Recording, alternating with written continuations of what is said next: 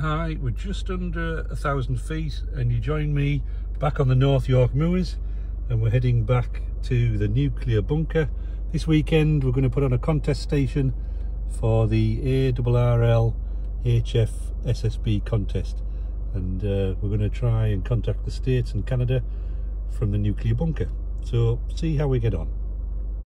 Now, at this point, if you're thinking, what's he on about, a nuclear bunker? Well, you need to watch the preceding video, which I'll put the link to above, and then come back and watch this video. It'll all make sense.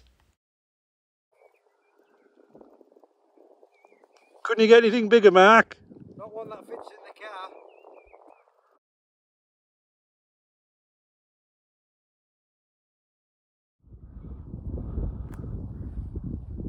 Mark just spinning it around now. Apologies to the wind, I haven't got the right microphone.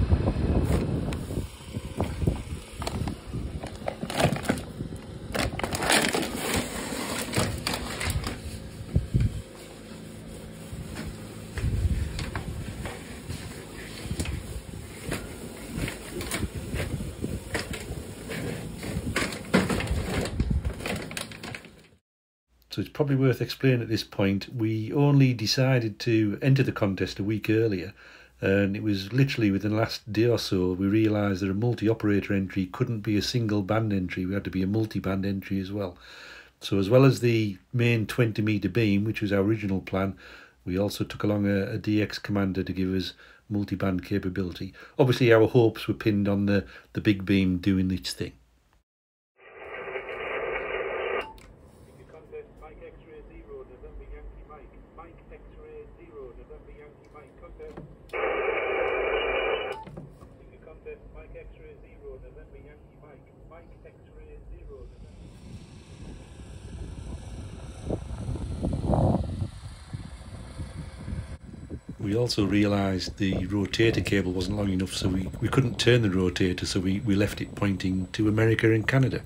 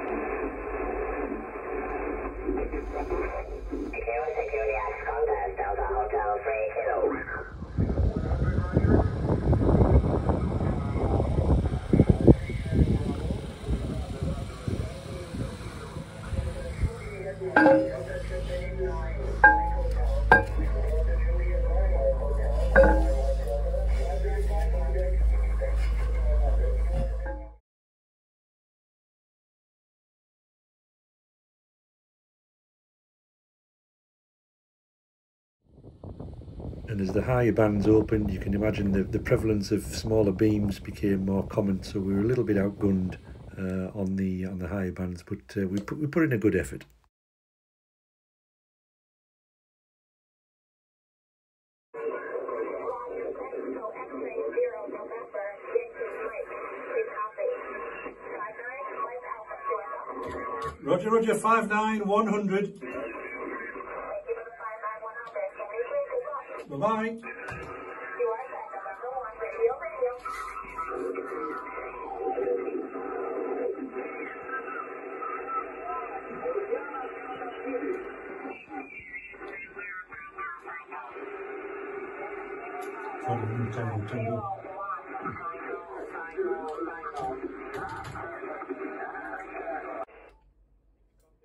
up to Saturday tea time, we were a two-man station. Uh, we were getting a bit concerned because we would have to pack up and then re rebuild the station the following day because we weren't stopping overnight, or that wasn't the plan. Uh, fortunately, Liam M7LCB and Gary M7GAX came along. Uh, we had a chat with them, and they they held the fort with us uh, until Matt M0ZMS came along. Matt, being a full license holder, uh, could take over the station on his own. And thanks to Matt for running the station into the wee small hours uh, till uh, till Matt could get back and take over. So thanks for that, Matt. So here we are, day day two. It's a bit chilly, one degree. Uh, see how we get on today. So I'm going to measure the vertical for 10 inches green wire, just a temporary wire. Apologies if that's out of focus, I suspect it is. Um, and then we're going to make, out of those two garden canes, uh, a reflector and a director to point to America, which is that way, just to the right of that farm. Uh, just to give us a bit more oomph, hopefully. We'll see anyway. So what we've done here is create a, a three element vertical Yagi for 10 metres.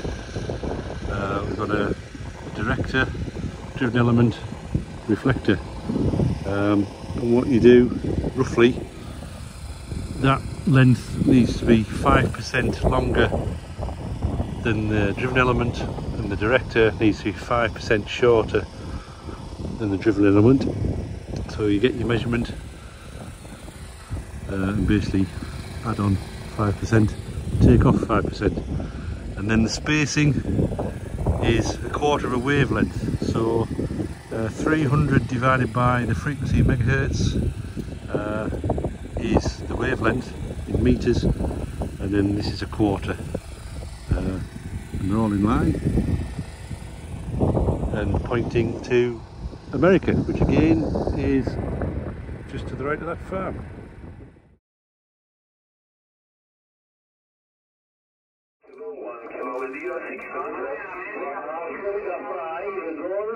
Mike X-Ray Zero, November Yankee Mike. now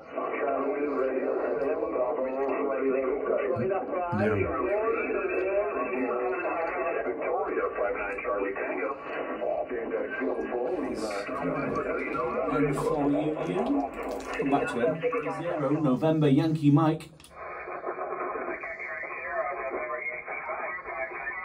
Roger, Roger, 59100. Florida. Roger, Roger, 59173. Well, although it was a 48 hour contest, we, we packed up at Sunday tea time and we cleared all our gear away and left the site as if no one had been there.